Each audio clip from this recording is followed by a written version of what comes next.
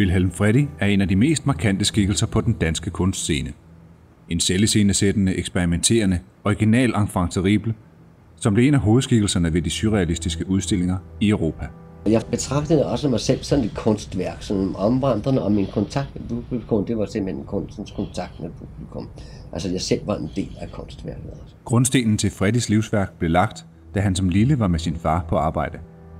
Det var Institut for Almindelig Patologi, øh, hvor der var en hel masse objekter af forskellige art, medicinske, kirurgiske osv. videre Sådan noget. Det er ligesom, der var noget andet bagved, end det man bare så. Først malede jeg naturligvis som alle naturalistiske billeder, jeg var 10-11 år eller sådan noget. Og så senere så malede jeg nogle abstrakte billeder. Men så kom der en dag, altså, hvor ligesom disse billeder ikke betød noget rigtigt for mig. Det er ligesom en slags kulisser i min tilværelse. Ikke mig. Så hører jeg om øh, det franske tidsskrift La Révolution Surrealiste, som jeg kom der i 1929. Det åbnede noget for mig. Samme år malede Fredde sit første surrealistiske billede, Frihed, Lighed og Bruderskab, som blev udstillet i 1930 på kunstnernes efterårsudstilling i København. Billedet introducerede surrealismen til Norden og gav en forsmag på de skandaler, der sidenhen fulgte. Folk forstod ikke Freddy. Og ofte, når jeg kom ud på udstillingen, så var billedet sat med bagsiden ud af. Der var sådan en enquete, hvad folk mente om. Der og nogen, men jeg var så sindssyg, simpelthen. Og det var ikke kun i Danmark, Freddy skabte furore. De følgende år fik han sin første separat udstilling i København og deltog i den første internationale surrealistiske udstilling i Norden. Men da han i 1936 sendte værker afsted til den engelske udstilling International Surrealist Exhibition, blev værkerne beslaglagt i tollen som pornografi. Men det mest alarmerende ved det hele, det var, at efter engelsk lov skulle det gøres. Og det var jeg meget, meget ked af, at mine billeder skulle gå op i røg. Det havde jeg slet ikke forestillet mig. Det kom dog ikke så vidt. Men allerede året efter var Freddy igen på forsiderne. Denne gang i København med udstillingen Træk gaflen ud af øjet på sommerfuglen, Sex Surreal. Den udløste voldsomme reaktioner blandt de besøgende og pressen og blev lukket af politiet. Og så blev jeg sammen med alle mine billeder blev transporteret op på politigården. Så var, kom jeg i et andet langt forhør, der varede øh, fra formiddagen til langt ud på natten. Og så kom de grænne ind til det var meget nemmere at tilstå, tilstå, at det var pornografi, jeg udstillede. Altså, det gør jeg da ikke. Det er ikke noget med pornografi at gøre. Og de blev ved natten igennem. Så gik den til landsretten, og der bliver selvfølgelig efter lange besværligheder, du ved, så bliver dømt. Og der er så, ja, skal en tur i Vesterfængsel.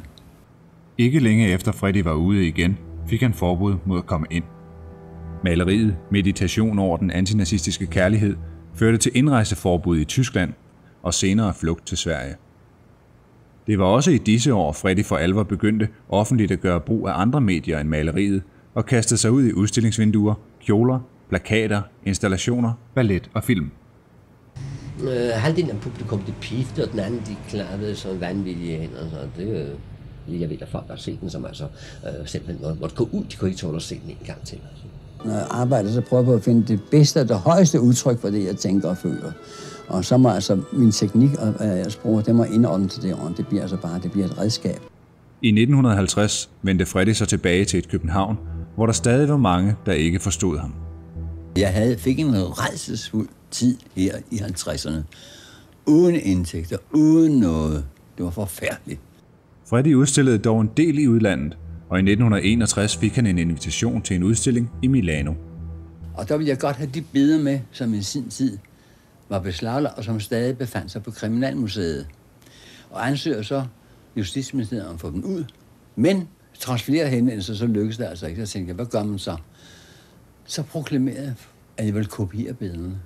Og det gjorde jeg, og så sagde jeg, når de billeder er færdige, vil vi udstille. Og nu kommer verdens mindste og verdens korteste udstilling. Der var fyldt med politibiler og hunde og alt muligt. Og betjente og alting. Der er sket en eller anden. Så er min udstilling. De var færdige med at lukke. Og så begynder der en ny retssag. Og landsretten, der bliver pure frikendt. Og så endelig, i 1965, købte Statens Kunstfond det første værk af Wilhelm Freddy. Pressen ændrede fuldkommen holdning fra den ene dag til den anden dag. Nu hed det fede overskrifter, der hed det geniet Wilhelm Frede, Åbenbaringen Wilhelm Frede. Det kan ændre sig så hurtigt. Nu er jeg pludselig en åbenbaring og geni. Det var ikke før. Sådan kan det gå. Freddy udstillede overalt i Danmark, såvel som i resten af verden. Han blev tildelt Thorvaldsen-medaljen, udnævnt til professor og æresmedlem ved det Kongelige Kunstakademi, blev årets Tivoli-kunstner, tildelt Sadolins farvepris, den franske Arte Lettre medalje og begyndte for alvor at sælge. Surrealismen, som, som betyder overrealisme, altså i, i forbindelse med som stærk realisme, øh, det var altså en forbindelse mellem den ydre og den indre virkelighed. Jeg gav den lige stor betydning begge dele. Kast fornuftens tunge længere bort. Der er en anden logik, det er en indre logik, og den opstår mellem det samspil mellem drøm og virkelighed. Kærligheden for eksempel, det er jo øh, en indre logik, der bestemmer det. Og den kan jo ikke sådan analyseres på den måde. Det kan man jo ikke.